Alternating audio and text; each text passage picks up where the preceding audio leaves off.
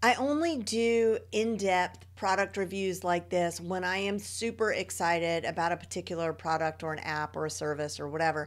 And today I want to talk about Beamer because I am indeed quite excited. So, what is Beamer?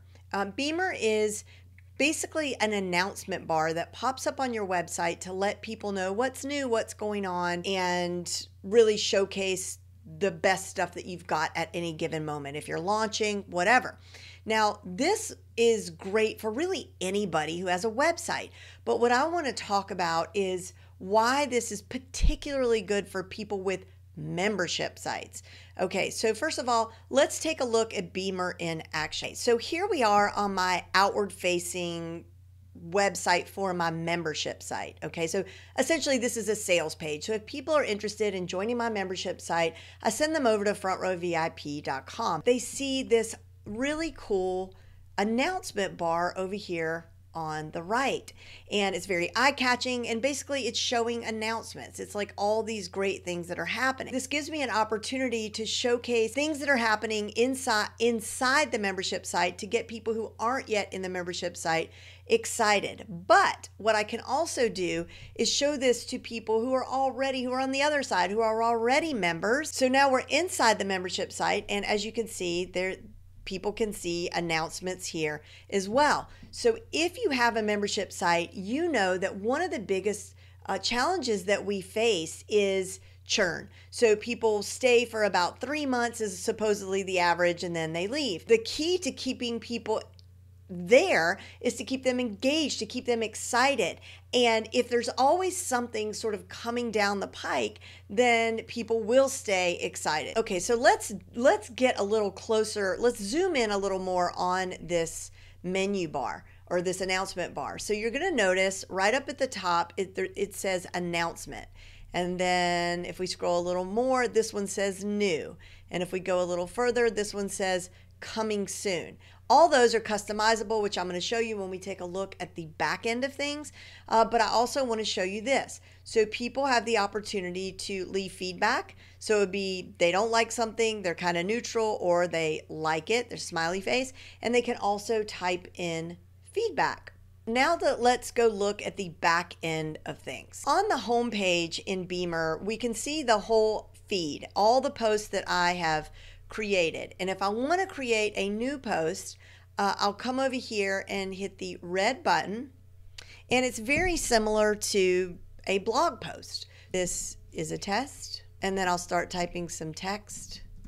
And then I'm going to click the plus button again. And I could enter, I could put in an image. Okay, so I've put that image in there. If I don't want it to be super big, I can click these little squares and make it smaller. Can put in a link. If you look right up here, this is where you choose the category and these are also customizable, which I'm going to show you in just a moment. So now let's look at some of these other choices. You'll see here it says segment filters.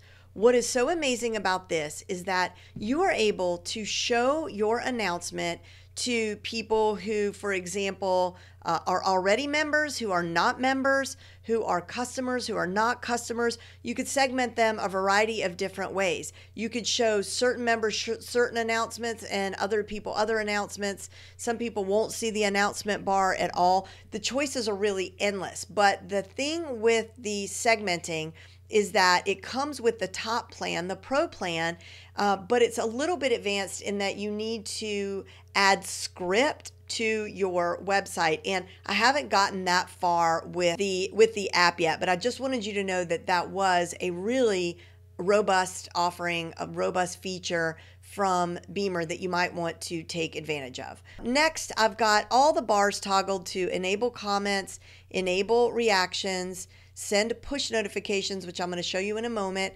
auto open the sidebar, open links in a new tab, and enable social media sharing. Auto open the sidebar means exactly that. So the sidebar that we looked at will auto open for people who are coming for the first time.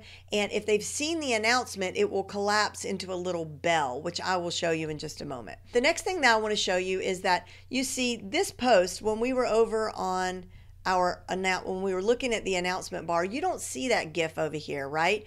That's because I have this scheduled. to post two days from now. So you can add a bunch of posts as they correlate with your content, your activities, the things that you have going on in your membership site, and schedule them out in advance. So I love that. Also, uh, when I added this GIF, I just did that by adding the image option and then I uploaded the GIF. Now we're going to go to settings and we're gonna we're gonna walk through this. This top part's pretty obvious. When you look here at standalone page, you'll notice that I have a custom domain that comes with the pro option. Uh, so if I click this little button, you'll see that this becomes like its own little blog, its own little website that I could share wherever. Um, now you could do that without a custom domain. It's just going to have the Beamer, it'll have some long Beamer link. But you know what? You could use the Beamer link and turn it into a bit.ly and probably be fine. I just like the, I like having a custom domain. Then I have all these toggled and turned on. And next we're gonna look over here at user. That's where your password information is, your email address. And then of course I want to receive uh, daily feedback summary and a weekly analytics summary. Daily for now, since it's new, I want to really be tracking this. Uh, you can add people as administrators, managers, writers, designers, or read only, and you just invite them by typing their email address. Languages. This is where you could set your uh, you could set this to have a translation op, um, option if you would like, like if you serve two languages, if your audience speaks two languages. But also, this is where you would customize any other language or words on the website, whether that's uh, words that is, you know, your category options or even you look at the very top of this, it says what's new in Front Row VIP. It defaulted to what's new on. So I made sure and changed on to in in that language. So right here, it says what's new in. Now we're going to click on appearance and this is fun. You can turn your beamer into your brand colors by just adding simple hex codes and you could do the same thing for your category colors. Then you can upload a logo and this shows up in your in the little pop-up for push notifications which I am going to click on push so you can see what I mean. This little box will pop up if you have it allowed. It will pop up and ask people if they would like to receive updates with a push notification. If they say yes, that they do want to receive a push notification, what's so great is every time you put an announcement on your beamer, they're going to get a notification on the website. Like a little bubble is going to pop up while they're surfing the web, wherever they are, and let them know that you have just posted something on your Beamer. If you have this toggled like I do to retry permissions prompt, that means that if they see the the prompt, if it pops up and they don't do anything, then you can actually tell Beamer to to try one more time. Now we're going to look at API just to say that, so this is important when you are integrating Beamer with other applications like Zapier, which we're going to look at in, in just a bit. Now let's look at embed. So this is where you're going to get the code to copy and paste onto your website. And you could put this on any website, Squarespace, New Kajabi, WordPress, really anywhere. And it's just a matter of clicking the code right here to copy it. Then you're going to go over to your website and place it in the header of your website before the end of the body tag. And very clear directions here by Beamer. I am not a coder. I am actually not a website person, but I did this in about five minutes. It was very easy. Now let's look at integration. So this is where that API, API code comes in. You can use, you don't have to, but you can use Zap, Zapier to connect your Beamer to do all sorts of cool things. Zap, Zapier is a third party app that basically connects one piece of software with another to create automated actions. So, for example, you could create a Twitter post every time you post a new post on Beamer, or post it as a LinkedIn update, or even create a new MailChimp campaign uh, from a Beamer post. The analytics are super easy to read. This is showing total views.